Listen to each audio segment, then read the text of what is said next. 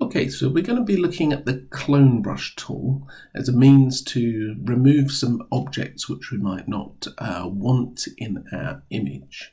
Uh, we're going to have a look at this uh, first of all for a simple object and secondly for something more complex and then you're going to have a go.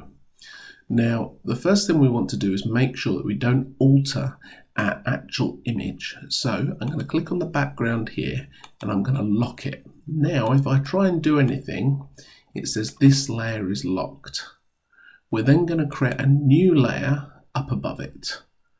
And uh, I'm just going to call this layer for cloning. You can, of course, create several layers if you're cloning different objects.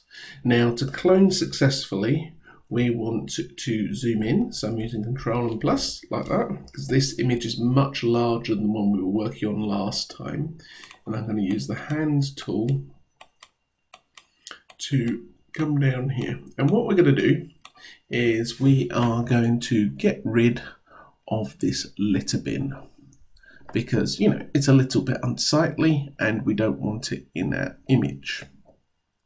So the first thing we're going to do is select the clone brush. Now the clone brush can be found in the brushes menu here. There's the clone tool and we're going to select as our source all layers. So if we just did it on the current layer, we wouldn't actually be copying anything. Uh, that wouldn't work at all because we'd just be copying blank onto blank, whereas we want to copy this layer here and clone it onto this layer.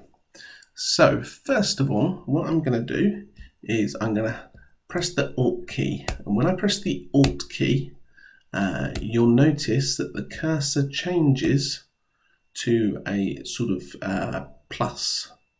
So when I click on that, what you've got is, you can you see it's copying over and I can start Oh, went a bit too far there, but don't worry, we'll sort that out in a moment.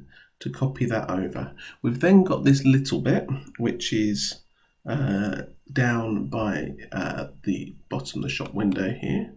So I'm going to copy that and I'm going to copy that several times over like that. And lastly, I'm going to copy this bit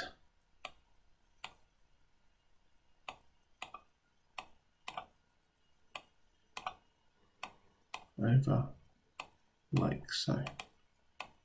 And as you can see, it's starting to make it disappear. Now, I mentioned a little while ago uh, that uh, we've got a problem here uh, because we copied a bit too far. But if we turn off our original background, you can see we've kind of got like this funny patch.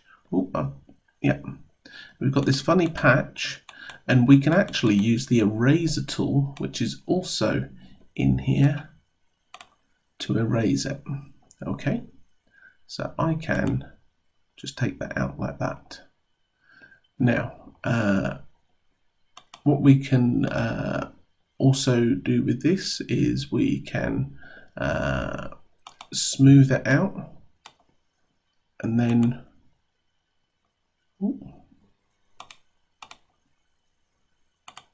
and then it gives it a bit of a smoother edge.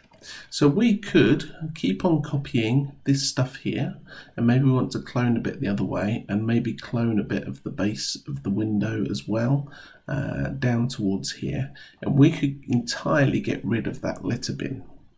Uh, now if I change the opacity of this brush down then what you'll see is it kind of blends the two in so I'm making it kind of semi-transparent. Uh, and that, if you have a look there, you can see the transparency showing through, gives a more realistic look. Okay, so that's what we're doing in terms of getting rid of the litter bin and you could use little artifacts like you could make the brush slightly smaller and clone this window shelf along. You could clone down here, clone this edge along here Uh, shouldn't be too much of a problem. I can even just do some of that now. So Alt. Oh, sorry, I need to go back onto my uh, clone brush tool. And Alt. Oh, a little bit lower. And you can see I can start to clone that along.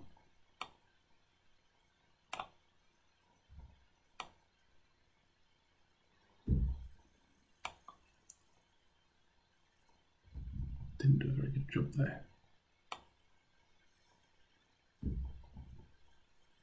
Oh. So if I want to undo, Control and Z undoes, and then I can uh, give this another go. And you can see how this is kind of working and we can actually remove objects. Now it might look a little bit rough, but actually when we start to zoom out, you can see it doesn't actually look so bad. Uh, so if we zoomed in, if we just got rid of the top of that bin uh, by cloning this along, that would look quite nice and quite believable. Second thing we're going to try and do is get rid of this car. So let's try moving uh, over this way. We're going to use the hand tool. And again, we use the clone tool and we are going to make the clone brush size a little bit bigger. We'll make it a little bit softer so it's a bit more uh, fuzzy around the edges. That will help us. And oh, that's a bit too big. So let's move it to like that. And I'm going to use Alt to grab a bit of the pavement over here and then straight away I can start to rub out the car like that. Notice if I go over the bottom of these pillars, that's not so great.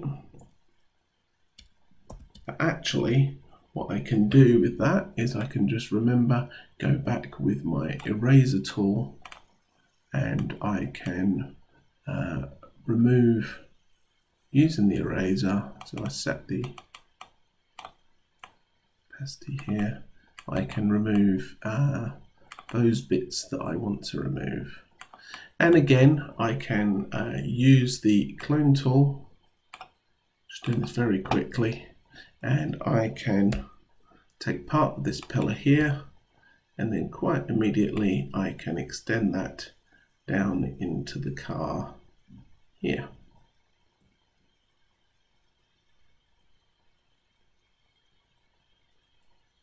Maybe need some blending and that kind of thing uh, to do that.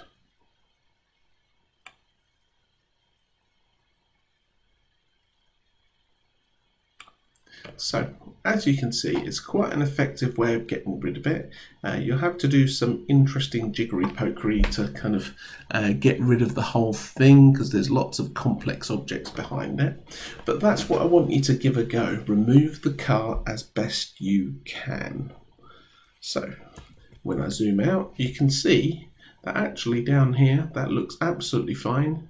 Maybe we could copy the bottom of this pillar over here to over here and we could start to build up our scene and would never know the car was there unless we looked very closely.